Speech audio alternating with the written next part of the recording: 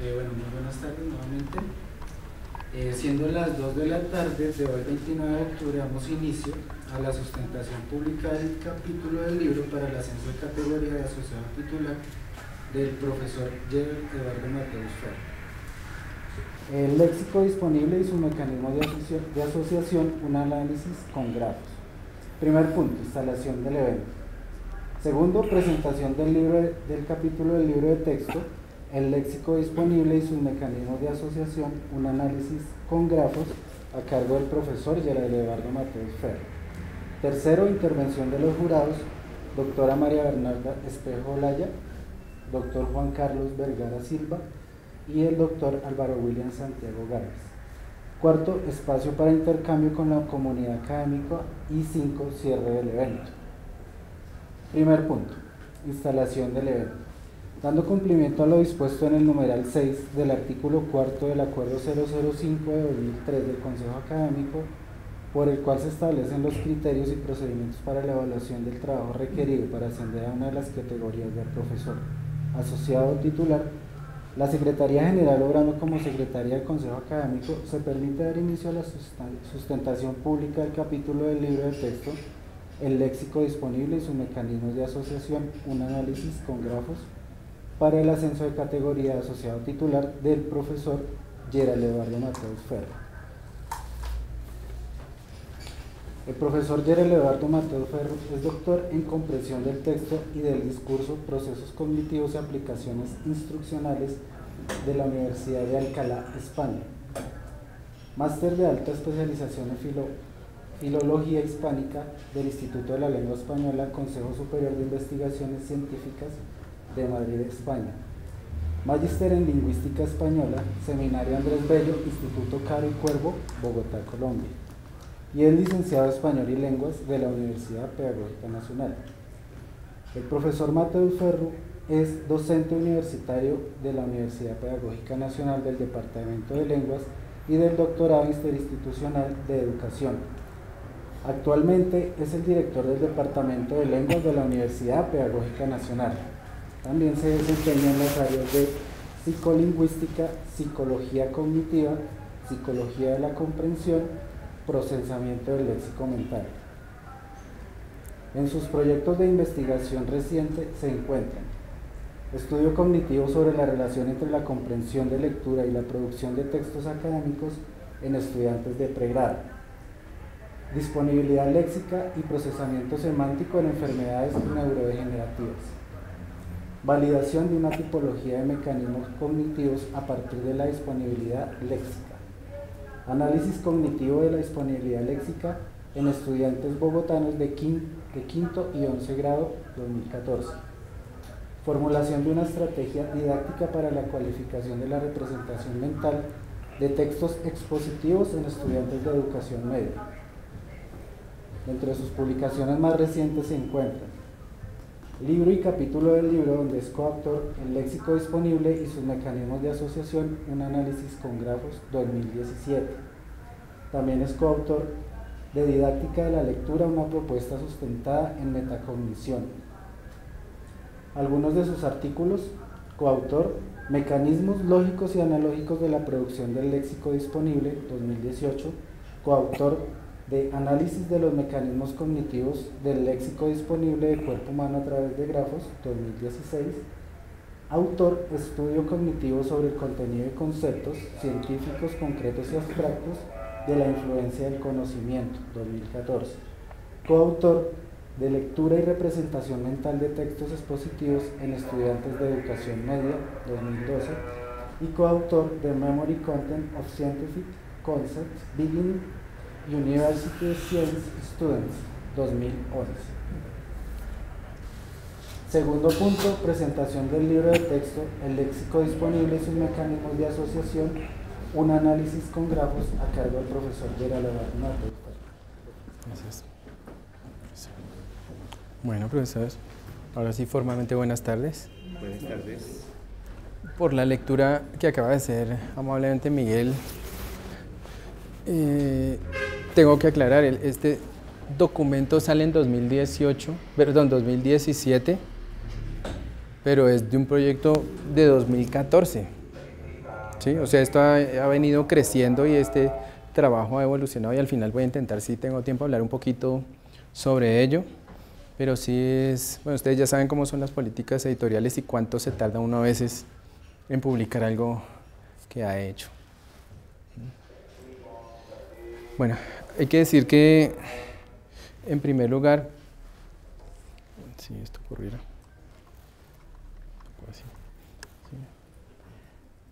que lo primero que tendríamos que tener en la mente a la hora de hablar del léxico disponible es hablar de nociones fundamentales sobre léxico. El primero es léxico básico, que el léxico básico, como todos sabemos, es un conjunto de palabras más frecuentes en la lengua que son actualizadas y con independencia del tema tratado. Por ejemplo, los corpus que hace la academia harían parte del léxico básico. El criterio es frecuencia en una gran multitud de publicaciones, en algunos casos generales, en otras específicas, pero sobre todo prima la publicación general. El léxico disponible, que tiene una tradición ya de más de 60, 70 años, que se le debe sobre todo a unos lingüistas franceses, plantea que además de ese léxico básico hay un conjunto de palabras potencial en la mente que no es actualizado, sino salvo en ocasiones específicas, ante temas específicos se ha denominado léxico disponible. La suma, entre comillas, de ese léxico básico y este léxico disponible daría cuenta del léxico fundamental de una lengua. Hay una gran tradición de estudios sobre el léxico disponible. Hay unas condiciones metodológicas. hay un proyecto panhispánico para el estudio del léxico disponible que es liderado desde la Universidad de Salamanca. E inició por allá en 2002, 2003. En Colombia ese primer estudio sobre el léxico disponible se hizo en convenio entre la Universidad Pedagógica Nacional y el Instituto Caro y Cuervo ese primer estudio que se, se hizo en Bogotá. Metodológicamente se plantea que las encuestas se practican a estudiantes que aún o no han salido de bachillerato o no van muy avanzados en sus estudios universitarios porque no han sido, entre comillas, contaminados por el léxico especializado. Las pruebas en las que se recopila el léxico disponible son pruebas asociativas de fluidez verbal, como son actualizados dependiendo de temas específicos, entonces se habla de centros de interés. La metodología panhispánica plantea 16 centros de interés, cuerpo humano, prendas de vestir, la cocina, animales, alimentos, campos, ciudad, bueno, son 16. El resultado de, esos de, ese, de esas pruebas asociativas son unos listados de palabras organizadas según según un criterio estadístico y es qué tan rápido vienen a la mente de las personas que llenan la encuesta y qué tantas veces lo dicen y en eso, de ese, digamos que de, esa, de ese cómputo entre los dos índices se genera el orden de los listados que normalmente los llaman diccionarios. El comienzo de los estudios fue muy profusa la investigación de los léxicos, luego se hicieron bastantes estudios basados en, por ejemplo, diferencias y especificidades regionales, en algunos con variedades, perdón, variedades asociadas a variables sociales, diastratías, y hay algunas aplicaciones que son las más numerosas en el último tiempo que tienen que ver con didáctica de la lengua y didáctica de la lengua extranjera.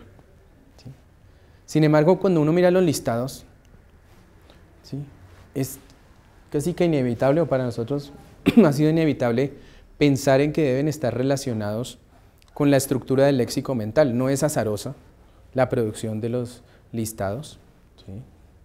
Aquí hay un ejemplo de diccionario. Normalmente los diccionarios de palabras son de 500, 600 palabras, pero las que más peso tienen normalmente están entre el 60-70% del primer listado, incluso menos. Hay centros de interés donde las 50 primeras palabras guardan el 80-90% de la frecuencia acumulada. Y aquí hay un ejemplo de, de donde empiezan algunas intuiciones sobre la organización del léxico. Para nosotros es relativamente fácil empezar a ver algunas asociaciones, a percibirlas. Miremos la columna de alimentos y bebidas, este es un ejemplo. Arroz, gaseosa, jugo, papa, carne, frijol, y hasta ahí eso suena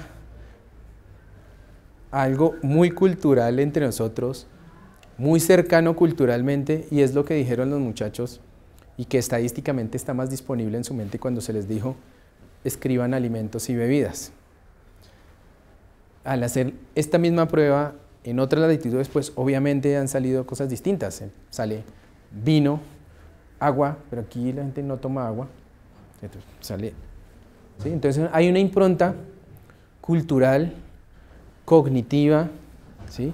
que también parece que genera regularidades ¿sí? Y que podrían explicarnos cómo se produce ese léxico mental en esa tarea específica. Si miramos la escuela, colegio y útiles escolares, este centro de interés, también se ven algunas regularidades cuaderno, lápiz, esfero, libro, y vemos que se trata, por ejemplo, en este caso, de útiles escolares. Los lugares se tardan en aparecer. El primer lugar de un colegio está en el lugar 15, que es biblioteca. ¿sí?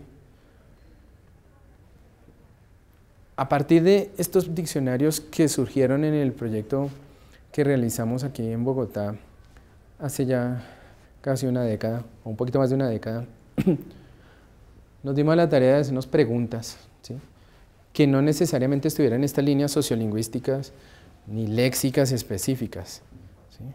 Aquí hay un ejemplo de la, de la, plataforma en la que se calcula el, el índice de disponibilidad léxica. La disponibilidad máxima que puede tener un vocablo es 1.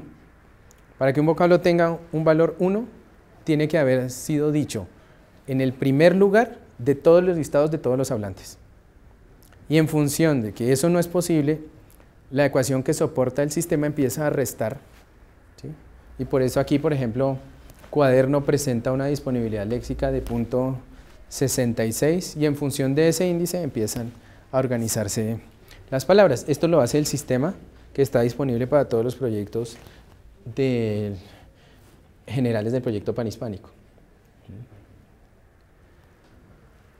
Como les decía, nosotros empezamos a hacer algunas preguntas no tan lingüísticas, pero sí cognitivo-lingüísticas, incluso psicolingüísticas. Como les decía, nos planteamos, bueno, ¿cuál es la relación entre léxico disponible y léxico mental? Debe haber alguna y a través de, este, de estos listados podríamos llegar a ellas. Llamamos incluso, bueno, esas regularidades pensábamos cómo podríamos llamarla. Habrá unos mecanismos, unas estrategias, unas pautas regulares, pero analizar un listado de palabras es bastante complicado. Por esas cosas no es de la suerte, sino de la interacción académica llegó a nuestras manos un programa que hizo el profesor Max Echeverría de Chile, ya fallecido, en el que tomaba la disponibilidad léxica y generaron una herramienta para poder dibujar las relaciones uno a uno de los listados, uno a cada una de las palabras. Aquí hay un ejemplo o dos ejemplos de grafos, muy pequeñitos, yo les dije que se hicieran más adelante. ¿Sí? Claro, sí, pero el programa permite dibujar de distintas maneras los listados. Si yo quiero saber cuál es el entorno de una palabra, o sea, cuáles, cuáles fueron las palabras que se dijeron antes o después en el listado, yo puedo hacer un grafo dirigido y pedir la palabra. En este caso, por ejemplo, si se le, se pidió a cuaderno y cuaderno estaba muy, muy, muy dicho, elicitado dirían otros, al lado de esfero y hay número 10 entre los dos nodos, significa que 10 hablantes lo dijeron uno después del otro, estaban seguidas esas dos unidades léxicas. ¿sí? Y luego el numerito que se encuentra frente a la arista es la frecuencia ¿sí? de la relación. Entonces, entre cuaderno y esfero una relación de 10, entre cuaderno y salón 2, entre cuaderno y pupitre 4, etc. Pero nosotros no queríamos hacer análisis dirigidos inicialmente. Pensamos en, tratemos de ver la red completa, porque al final lo que nosotros tenemos en la mente es una gran disponibilidad de conocimientos que luego a través de la lengua ¿sí? se generaban en estas pruebas asociativas. Entonces aquí hay un ejemplo más real, lo llamo más real porque nosotros no pensamos un concepto suelto difícilmente. ¿sí? Allá hay una, lo que llamarían en la memoria semántica, hay un potencial de conceptos que están listos a ser activados y que si se necesita comunicativamente se pronuncian, se elicitan. Entonces esto se parece más a lo que habría en la mente y los números nos van a decir qué tan potencialmente hay una unidad cerca de otra. Entonces fue una gran, gran suerte haber accedido al programa y aquí está una imagen de lo que se puede hacer con el programa. Al programa se le pueden pedir algunas funciones, por ejemplo aquí está el listado de palabras y uno elige cuál quiere y luego le dice que imprima el subgrafo y genera la relación específica para esa palabra como el primer grafo. Obviamente se puede hacer por centros de interés, por los 16 centros de interés o más, si uno incluye en algún proyecto alguno más, por ejemplo. ¿sí? Pero algo muy importante, ellos lo llaman podar aristas, podar nodos y es, bueno, hay una parte de toda esta información que es ruido. Una palabra que se dice una sola vez o una palabra que solo está seguida de otra una sola vez en una población de 100 personas, es ruido. A mí me interesa es nos interesaría es lo regular. ¿Qué tantas veces algo se dice después de otro? Y después de otro, después de otro, después de otro, en esas cadenas. Entonces, se puede pedir que se poden los nodos, o sea, que se eliminen los podos que no tengan más de X relaciones. Aquí, por ejemplo, es un 4. O sea que este grafo que se va a generar acá tiene que tener aristas iguales o menores, perdón, mayores que 4. Aristas no, nodos que tengan, así, ah, aristas. Y aquí aristas con peso.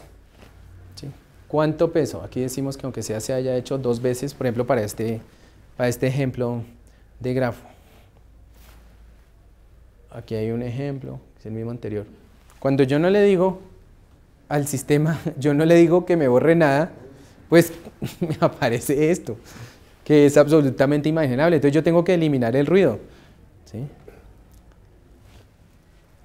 A nosotros nos interesaba estudiar entonces esas regularidades, pero que fueran representativas de una determinada comunidad. Entonces, metodológicamente, nosotros seguimos las pautas sociolingüísticas del estudio por cuotas, por cuotas organizadas de acuerdo a variables sociales reconocidas, nivel socioeconómico, tipo de colegio, género, sexo, pero eso es otra, otro asunto, otra gran discusión, ¿cierto? Teníamos ocho hablantes por cuota, al final fueron 96. El proyecto general que, que hice en Bogotá tenía 960 encuestas, pero el programa cuando lo recibimos no soportaba más de 300, empezaba a generar muchos errores. Lo que decidimos fue tomar una muestra por cuotas exactas para ver la representatividad en una población mayor. Entonces, utilizando esa herramienta de dispógrafo, habiéndole dicho ya, podeme cierta cantidad de, nodos y que no tengan cierto peso, aquí ya hay un grafo limpio. Aquí, por ejemplo, solo hay unidades que tienen peso 2, o sea, mínimo se dijeron dos veces, y aquí uno sí empieza a encontrar visualmente, ya vemos algunas regularidades. Visualmente además se empiezan a ver algunas regularidades, algunas palabras que van más seguidas, que están más cerca de otras, ¿sí? algunas relaciones que tienen más peso. Aquí es muy difícil de verlo, pero aquí están perro y gato sobrepuestos y están 68 veces en una población de 96 hablantes, de 96 informantes. Y claro, es lógico que entre nosotros perro y gato estén muy cerca. Lo extraño hubiera sido otro tipo de relación, y luego empieza a crecer la red a partir de todas estas relaciones. Nosotros quisimos intentar organizar esto o tener una lógica para organizarlas. ¿sí? Y entonces en los grafos empezamos a identificar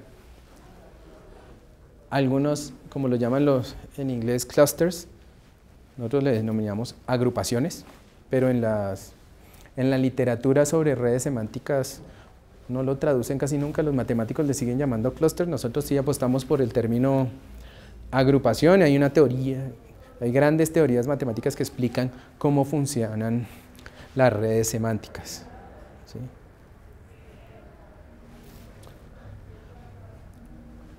¿Cómo procedimos entonces con la red? ¿Sí? Cuando teníamos un, grafo, después de limpiarlo, de decir, bueno, quitamos el ruido, ¿qué es lo regular? Aquí está el grafo de animales y ahí empezamos a identificar agrupaciones. Aquí hay una, que fue la primera que les ha plantado, gracias, muy amable. Aquí hay otra más grande. Burro, cebra, vaca, caballo, toro, cerdo, cebra. Aquí hay otra, ratón, hámster, rata. Y nosotros ya a primera vista empezamos a ver que hay unas regularidades y hay unas conexiones asociativas. Y sí, uno cuando va a veces a algunos manuales le hablan de lo semántico. Y por ejemplo los psicólogos tienen algunos problemas con lo que nosotros en lingüística llamamos semántica porque ellos le llaman semántica a cualquier tipo de relación que haya temática casi. Nosotros podemos ir más finos e ir al fondo. ¿sí? O sea, ellos son muy buenos en unas cosas, nosotros somos buenos en otra y podemos complementarnos. Para ellos cualquier relación entre dos términos la llaman relación semántica. Y de contenido, nosotros, bueno, podemos ir mucho más allá. Nosotros sabemos algo de semántica, podemos buscar rasgos que puedan ser comunes. Para recoger, ¿cuál fue el método? Primero, obtener los diccionarios de la disponibilidad léxica. Luego, diagramar los grafos, limpiarnos, aquí falta una S, identificar las agrupaciones, perdón, y por último, describir esas regularidades a partir de unos mecanismos, de una gran discusión que dimos en el grupo de investigación sobre cómo podríamos organizar esos mecanismos inicialmente. Del proyecto hay varios resultados. Aquí solamente se presenta la tipología. de la tipología también podríamos escribir la frecuencia después de los mecanismos, pero ese es otro tema. Inicialmente planteamos que sí son evidentes unos mecanismos, ¿sí? Para poder hacer la, la propuesta de organización de esos mecanismos, pues nos basamos en algunos referentes teóricos, en algunos trabajos de lingüistas, de lingüistas, de psicolingüistas, algunos que vienen de la lingüística cognitiva, otros de la psicología cognitiva, especialmente en lo que tiene que ver con la estructura conceptual humana. Entonces hay unos trabajos básicos como los de Atkinson, Casas Gómez, Galloso, Natividad Hernández, Ángel López, sobre lingüística. Hay otros también fundamentales en lingüística cognitiva, estos de Croft y Cruce, en español hay una traducción muy buena, la de Cuenca y Hilferty, que es la primera traducción que hay de, la primera propuesta de una lingüística cognitiva, un texto de lingüística cognitiva en español, pues eso ya es del 97, la primera versión, o sea, ya 20 años. Los trabajos de Lakoff, Lakoff y Johnson. Y en psicología cognitiva, algunos teóricos que han plantado distintas maneras de entender la estructura conceptual humana que no se basan solamente en sistemas arbitrarios a modales, sino en sistemas modales que tienen mucho de motivación, que tienen en cuenta lo cultural, lo emocional. Por ejemplo, los trabajos de Barsalú son fundamentales en esa línea. El resultado, pues, una tipología, son una tipología de 12 mecanismos. Y una primera aclaración que hay que hacer es que los mecanismos no son excluyentes. es muy posible que en una red de conceptos, en una agrupación, haya más de un fundamento. Gracias. Entonces no necesariamente son excluyentes los mecanismos. Se plantea una organización que para nosotros en lingüística es relativamente lógica. Hay unos mecanismos que tienen, que parten de, unas, de unos rasgos lingüístico-formales, están cerca de la lengua, y otros que son mucho más semánticos y cognitivos. ¿sí? Aquí están los ejemplos y vamos a ir viéndolos en detalle. Empecemos por, la parte gruesa de la propuesta.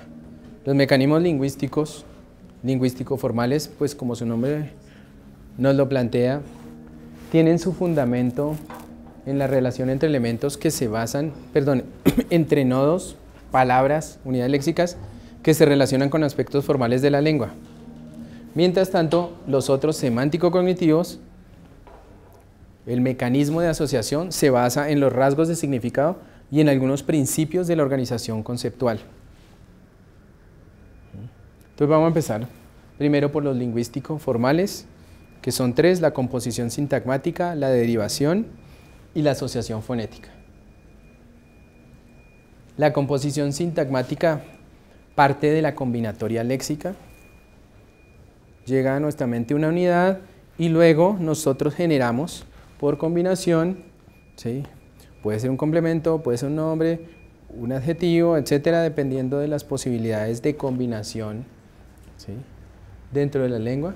Ya que hay un ejemplo muy fácil que se dio mucho. Hay una producción de léxico a partir de esta combinatoria léxica. Por ejemplo, ahí está el caso de pantalón corto y pantalón largo pero también fue muy frecuente, por ejemplo, en alimentos que estuvieran todos los jugos.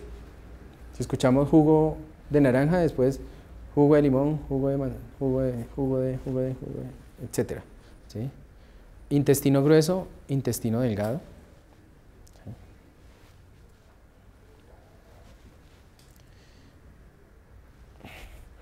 Un siguiente mecanismo, el siguiente mecanismo es el de derivación, que básicamente se fundamenta en relaciones morfológicas. ¿sí? Claro, alguien podría discutir, mire, derivación morfológica con asociación fonética al final están muy cercanas porque la morfología proviene y obviamente deviene de las asociaciones fonéticas, perdón, de las unidades fonéticas y cómo se comportan y se agrupan para generar unidades en un nivel mayor. Pero, pero ahí es un punto de discusión y para, tal vez para mejorar la misma tipología. Pero sí hay asociaciones evidentes. Aquí es el, la presencia del sufijo, camiseta, pantaloneta, chaqueta. ¿sí? Hay otros también en, en, prendas de vestir que son corbata, corbatín, conservan la raíz, no necesariamente la derivación se da solamente por sufijos, sino también se da porque pueden compartir el eczema radical. Por fonética, si dejamos aquí algunos casos específicos y son los que no, en los que se ve que no comparten la raíz. Por ejemplo, rollo y pollo sabemos que etimológicamente provienen de dos lugares totalmente distintos, pero sí suenan igual. Entonces aquí sí hay una diferencia y un criterio, ¿sí? porque aquí podríamos decir que esto también puede ser fonético, pero cuando dijimos morfológico, pues ya estaba incluido, porque sabemos la relación que acabamos de plantear entre los dos niveles, fonético y morfológico. Pero hay unos que son pura asociación de sonidos, que suenan como este rollo y pollo.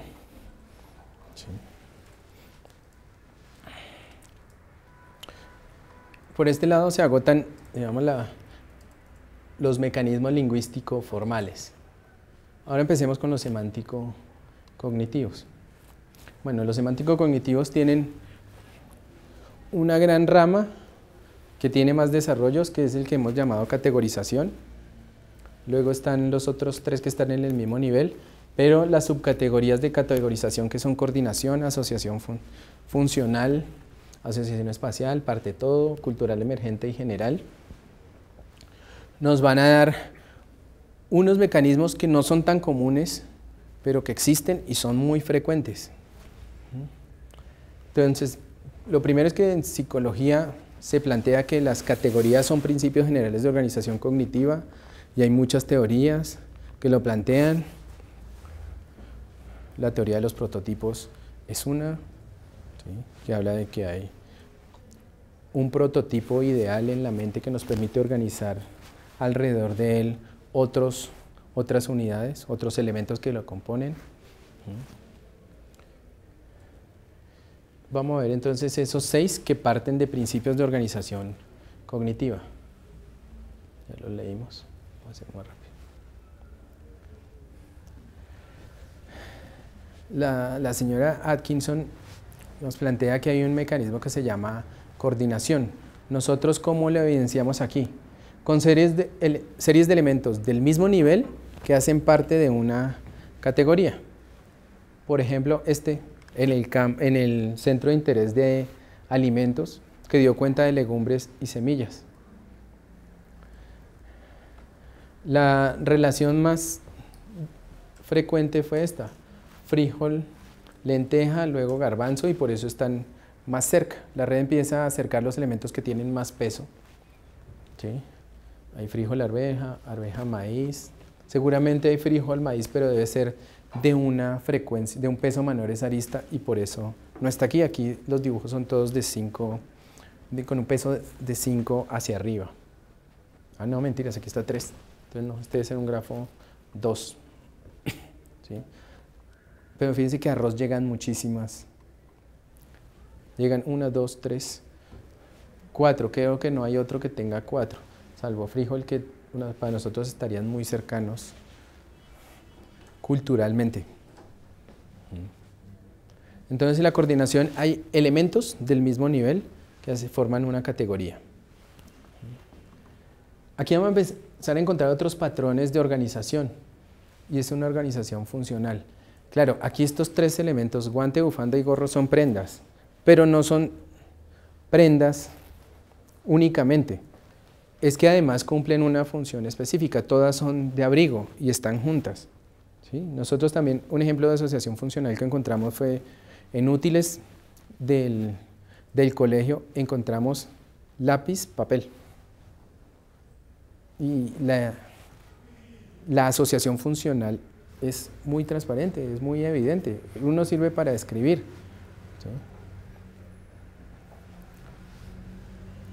También está en martillo, clavo, no, martillo, clavo, nosotros tenemos clavo, martillo, puntillas, si está muy cerca.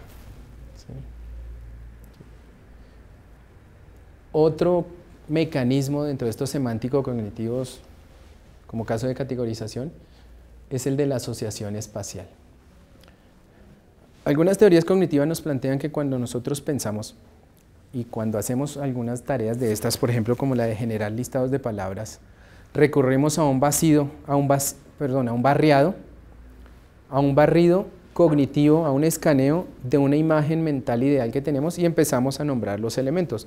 No necesariamente es consciente, pero es una estrategia. Y ese esquema mental guarda muchas relaciones icónicas, espaciales. Calle semáforo es una relación espacial.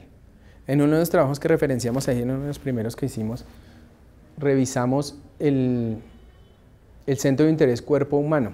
Y al revisar el listado de cuerpo humano encontrábamos que los, el léxico más frecuente empezaba enumerando la cara, ojos, boca, nariz y luego las extremidades. Y muy abajo en la lista empezaban a, a generarse las partes internas, los órganos internos.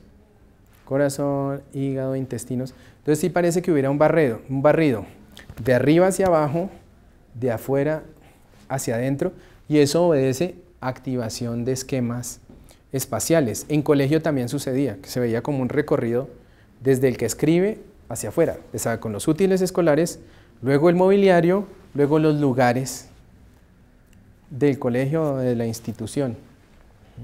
Este es un mecanismo muy, muy productivo. Hay otro mecanismo que es el de asociación parte-todo. Estos pues normalmente son binarios. Se nombra un elemento que es el todo y el otro que es la parte, ¿sí? o un elemento que hace parte del mismo, como en este zapato cordón. En cuerpo humano también es muy frecuente que haya mano, dedo, uña, que es espacial y es parte de todo.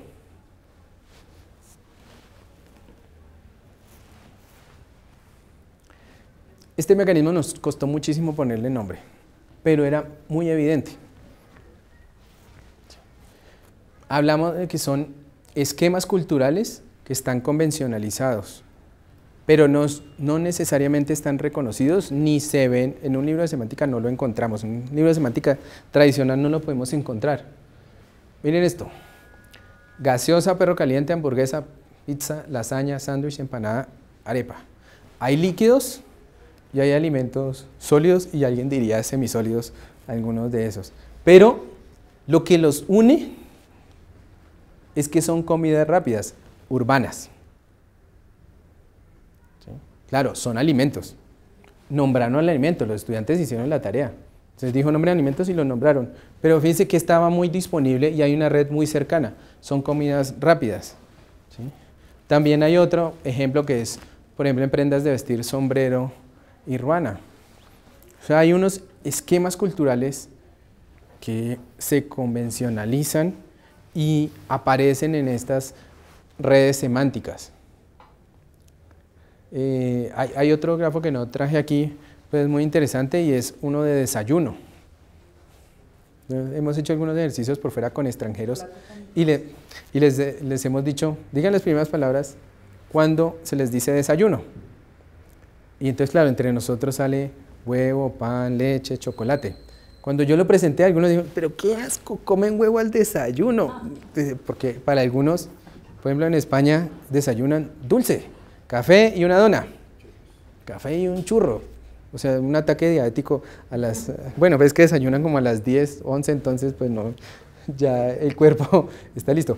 Pero cuando se les dice desayuno, ellos elicitan lo que culturalmente tienen por desayuno. Lo mismo nos pasa a nosotros y ese es un patrón también de activación. Aquí hay uno, hay un conjunto de, de grafos, de asociaciones que llamamos asociación general, porque básicamente no hay un rasgo específico, sino, como en los casos anteriores, sino que los une es que de verdad hacían parte del centro de interés. Por ejemplo, aquí hay uno, queso y pescado. Uno podría ir un poco más adelante y decir, bueno, son alimentos, son proteínas. Pero un estudiante eh, de décimo, de once, no creo que sea muy consciente de que son proteínas, son alimentos y ya, hacen parte del, de la tarea que se les pidió. Esta asociación general es un mecanismo importante porque a veces nos plantea, es como un comodín. Hay otros trabajos posteriores que han planteado que cuando se dan esta serie de asociaciones que no tienen rasgos específicos, es como una vuelta a la tarea. Entonces ya dije todas las comidas rápidas. ¿Ahora qué sigue? Pues busco un elemento que aparte del conjunto general y empiezo por ahí.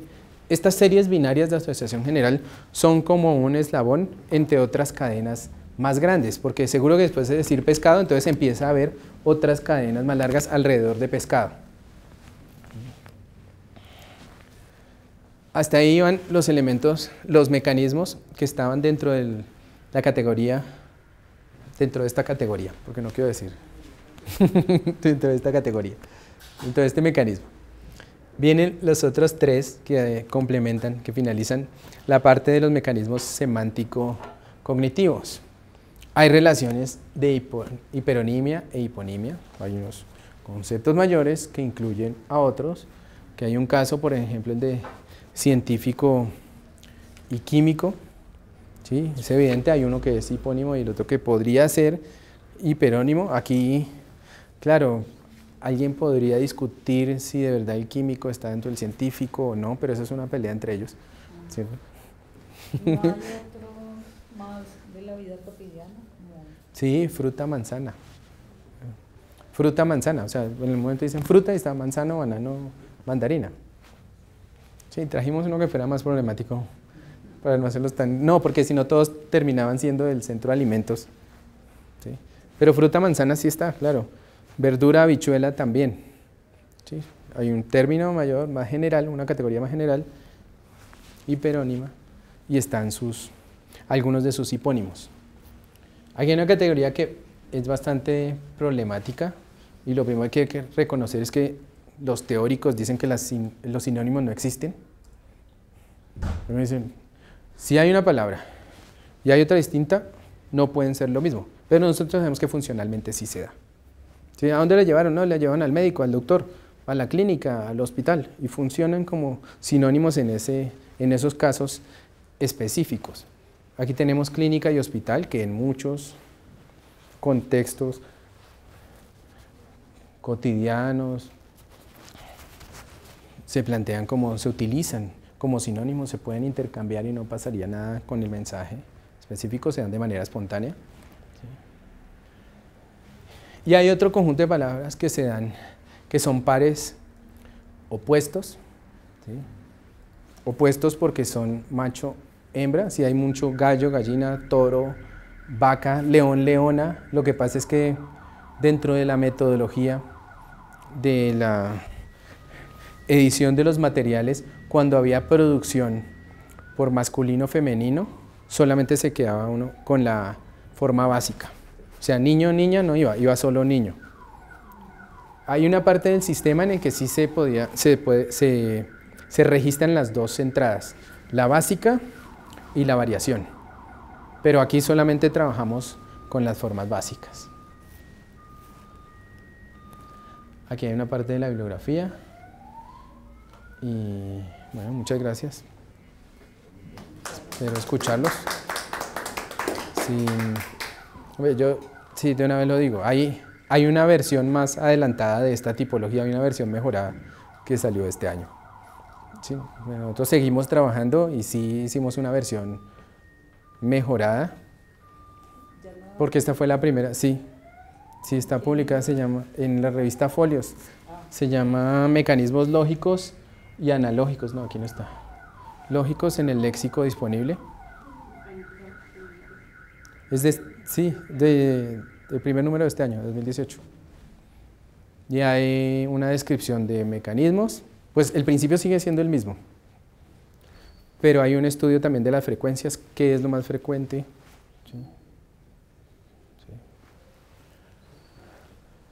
Si a mí me preguntaran por el valor del trabajo, tiene que ver más con, para nosotros, con haber descubierto un método Use un método para poder tomar esos listados y convertirlos en algo más que una descripción de unos listados de palabras y encontrar algunas regularidades. Hemos ido limpiando el método del camino y seguramente podemos irlo limpiando más si tuviéramos un matemático muy bueno que nos ayudara leyendo redes, tipos de grafos, por ejemplo, que hay unos radiales, hay unos nucleares, hay unos circulares, cerrados, abiertos. Bueno, eso se puede hacer infinidad de análisis y de trabajos que obviamente son útiles tanto para la descripción de cómo se recuperan, cómo se almacenan, cómo están asociados los elementos, el léxico mental, pero también podrían ser una fuente, y visto que en Salamanca hacen algunos trabajos para enseñanza del léxico para extranjeros, y pues partir solamente de una organización semántica tradicional podría enriquecerse si uno sistemáticamente acude a otro tipo de patrones que también están ahí disponibles en la mente y se dan. Muchas gracias, ahora sí. Muchas gracias, profesor. Tercer punto, intervención de los jurados. Doctora María Bernarda Espejo Laya, evaluadora externa de la Universidad de La Salle. Bueno, pues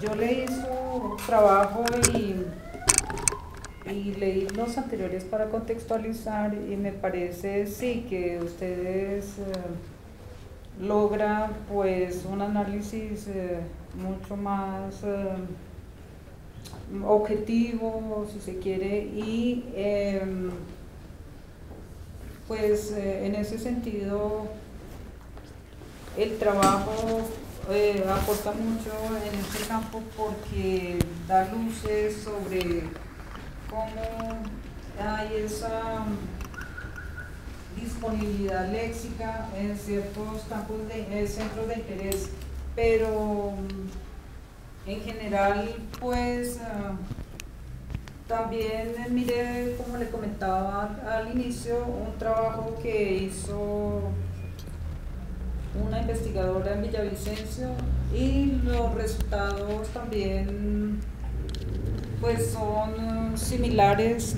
Eh, sin embargo, esta investigadora, esta investigadora no tiene en cuenta como todo lo que ya se ha hecho y se ha adelantado en este campo, pero creo que ustedes eh, mm, pues han avanzado mucho al respecto y, y mirando también o contextualizando en el mundo hispánico, pues eh, ustedes han avanzado en este campo en nuestro país. Eh, considero que, que el trabajo ilumina mucho sobre todos estos mecanismos para la disponibilidad léxica y eh, considero que, que es un trabajo que aporta mucho realmente. Gracias. Eh,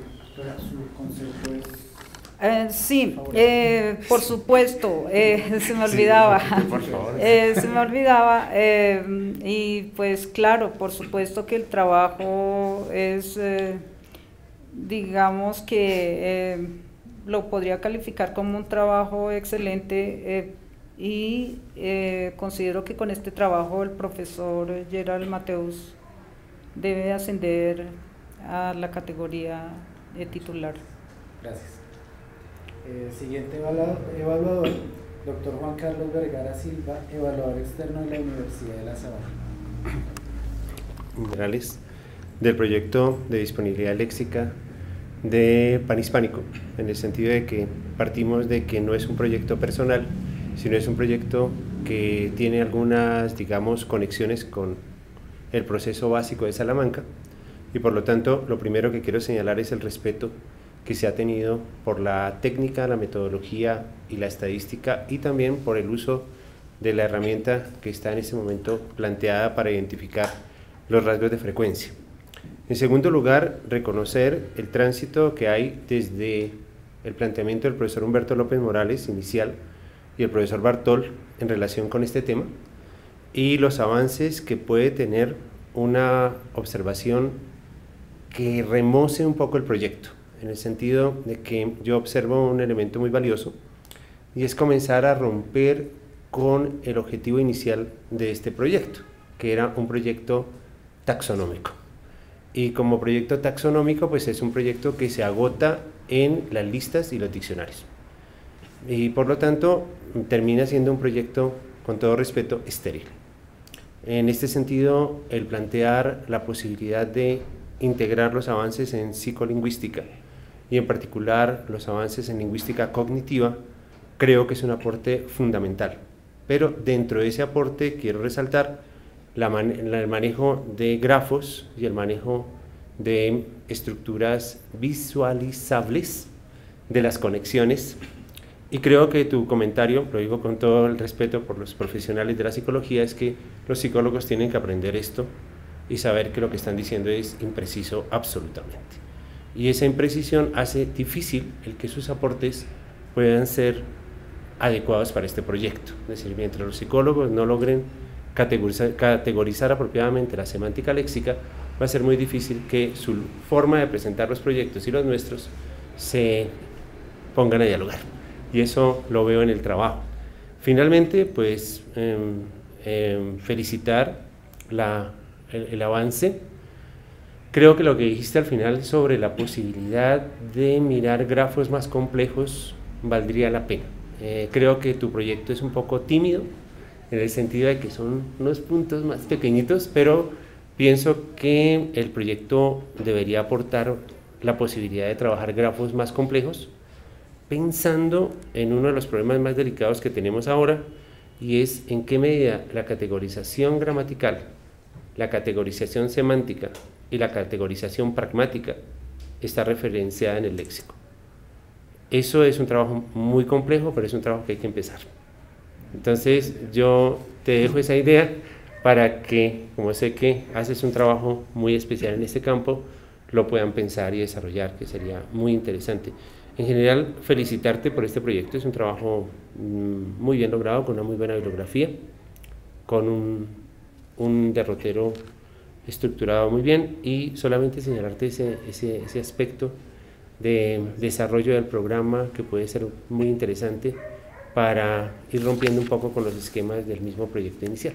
Sí, pues las presentaciones que hemos hecho entre los, los disponibles, así le llaman a la familia de sí, sí, claro. del, léxico disponible, sí ha llamado la atención porque lo que uno se encuentra son listados de palabras. Exacto. Y algunas, algunos estudios sociolingüísticos, de léxico muy pequeño. Esto tampoco es tan grande.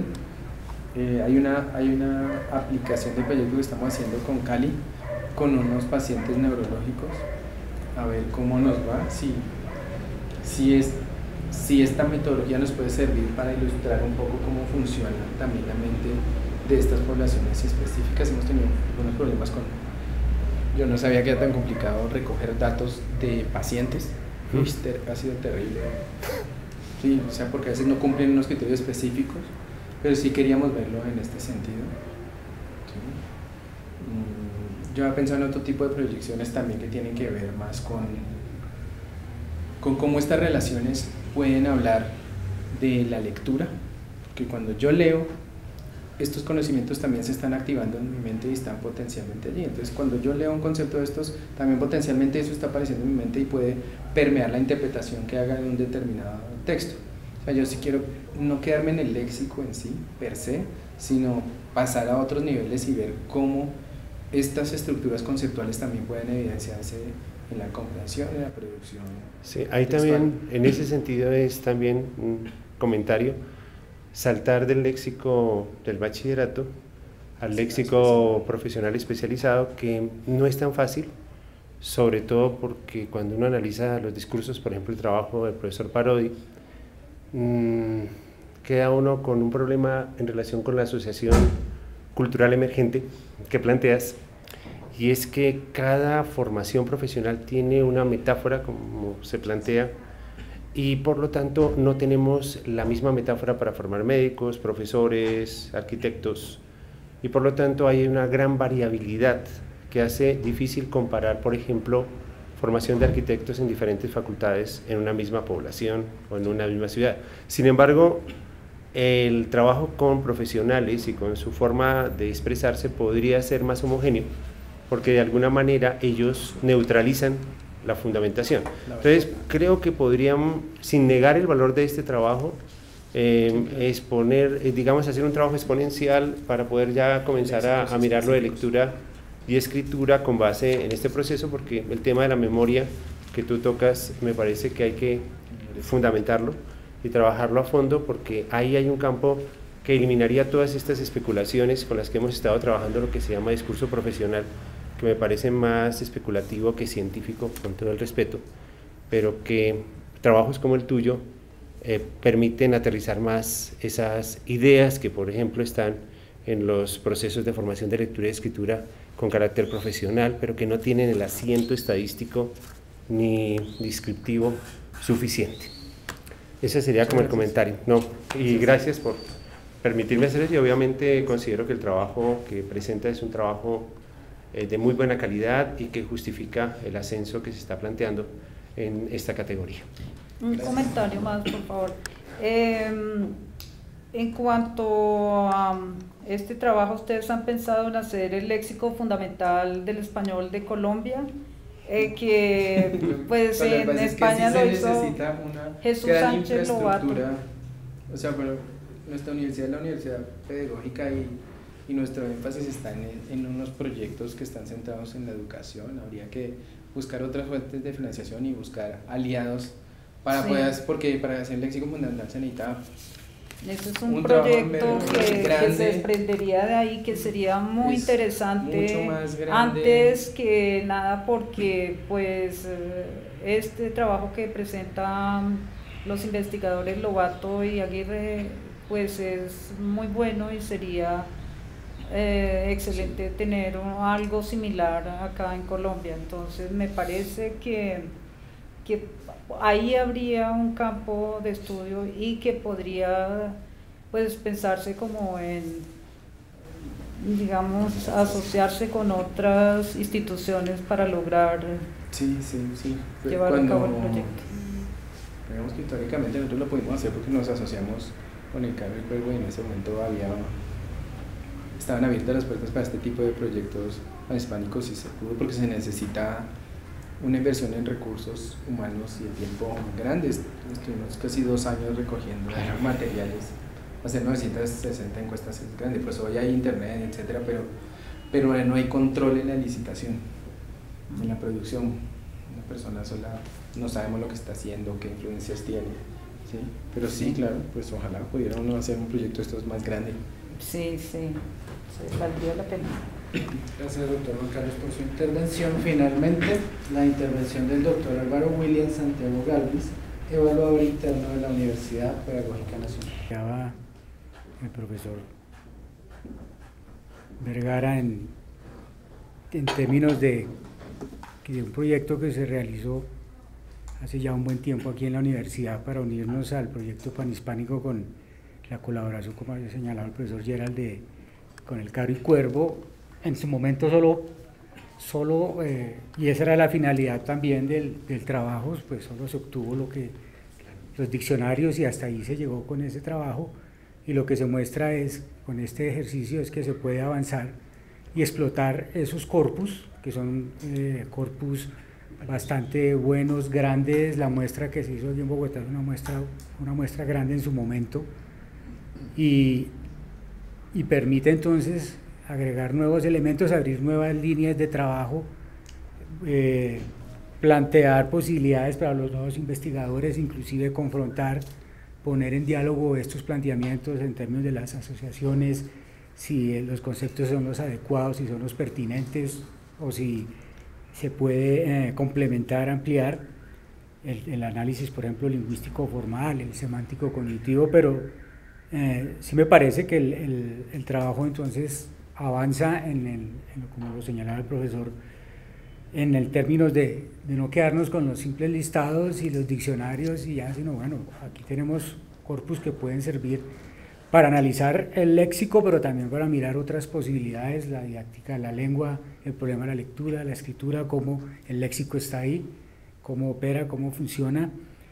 El, enriquecer el trabajo ya con elementos de la psicolingüística, la lingüística cognitiva, también pues eh, ayuda a, darle más valor al, al, trabajo. En eso y pues, eh, igual que lo que señalan los profesores, yo considero que es un trabajo muy bueno, serio, riguroso, se ha mostrado, se ha mantenido en la esencia que es lo que estableció el proyecto panhispánico, pero lo que muestra es que se pueden hacer cosas a partir de lo que, lo que se planteó inicialmente está sustentado teóricamente, recurrir a herramientas como los grafos que permiten visualizar y, ver un poco sí, eh, qué es lo que hay allá adentro. Sabemos que no podemos ver nada por allá, pero tener esas metáforas y esas posibilidades de decir, vea, así se establecen relaciones.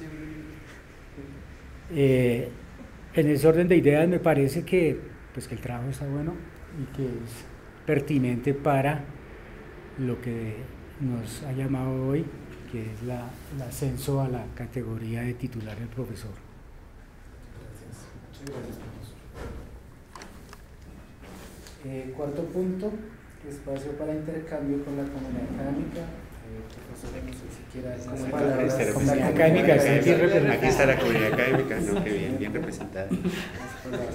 Sí, muy bien representada. No, por supuesto, es una muestra perfecta. Pues no, ¿qué, ¿qué, puedo decir yo? Pues digamos que eh, eh, podría referirme a como el jurado ha indicado pues el, la, el planteamiento del trabajo da lugar a muchas, mucho potencial, digamos, el trabajo tiene como mucho potencial eh, de, proyección en, otros tipos de de, de, individuos en, a nivel profesional para avanzar hacia un léxico fundamental, eh, para desarrollar, digamos, posturas más, digamos, apoyar modelos, por ejemplo, psicolingüísticos de procesamiento léxico. Yo diría también que tiene, tiene mm, forma de fundamentar una pedagogía, ¿no? Me corresponde, en la medida en que soy la comunidad de la pedagógica una pedagogía, una pedagogía en, eh, digamos, en la formación lingüística, eh, pensando un poco en, en, una enseñanza del léxico contextualizada, pero no contextualizada en textos, sino contextualizada en sistemas cognitivos, digamos, un poco pensar en una en en un discurso mental, además del diccionario mental, pensar en un discurso mental llama mucho la atención eh, eso que planteaba Gerald de, de, cómo la persona se le van ocurriendo las palabras, ¿no?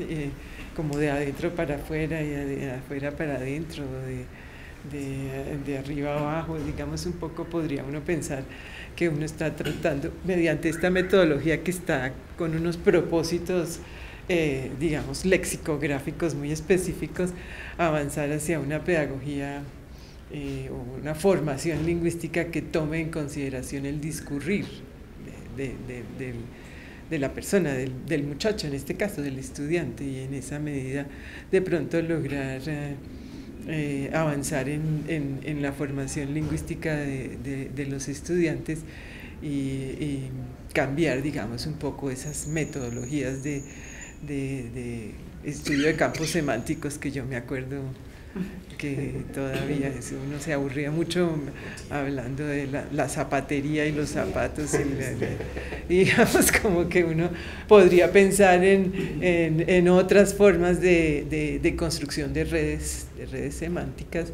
em, más asociables a, la forma como los muchachos están pensando. ¿no? Eh, se me ocurre ese concepto de categorías ad hoc, eh, que son muy, muy, muy interesantes y que seguramente, digamos, son más fieles. Hablamos de, las categorías ad hoc. sí, y son más fieles a, a, la forma de pensar de, de, de, un estudiante, por ejemplo, de secundaria, ¿no? que nunca va a pensar en en el zapato y, y, la zapatilla, sí, sino un poco en, un revuelto que uno dice eso de dónde está y uno podría saberlo utilizando ese tipo de, de mapeo, ¿no? Mapeo cognitivo. Entonces, felicitaciones, Último punto, cierre del evento.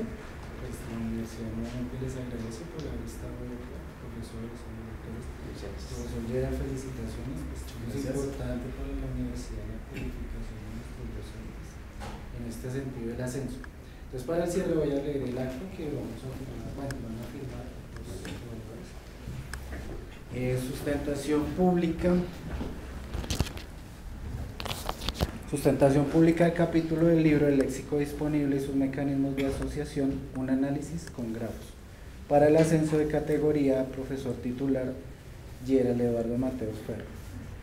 29 de octubre de 2018, siendo las 2 de la tarde, con la presencia de la doctora María Bernarda Espejo Olaya de la Universidad de La Salle, el doctor Juan Carlos Vergara Silva de la Universidad de La Sabana y el doctor Raúl Santiago Gálvez de la Universidad Pedagógica Nacional, quienes actuaron como evaluadores del capítulo del libro de texto El léxico disponible y sus mecanismos de asociación, un análisis con y como jurado de la sustentación pública a cargo del profesor Gerardo Eduardo Mateus de la Facultad de Humanidades, quien solicitó ascenso de categoría profesor titular, se dio inicio al acto académico público previsto en el numeral sexto del artículo 4 del Acuerdo 005 de 2003 del Consejo Académico, por el cual se establecen los criterios y procedimientos para la evaluación del trabajo requerido para ascender a una de las categorías de profesor asociado, asociado titular. Una vez instalada la sesión, se concedió el uso de la palabra al profesor Gerald Eduardo Matos Ferro, quien procedió con la presentación. Acto seguido se escuchó el concepto de los evaluadores, quienes previamente eh, actuaron en el trabajo en mención de la siguiente manera. Doctora María Bernarda Espejo Olaya, el concepto global es favorable. Doctor Juan Carlos Vergara Silva, el concepto global es favorable.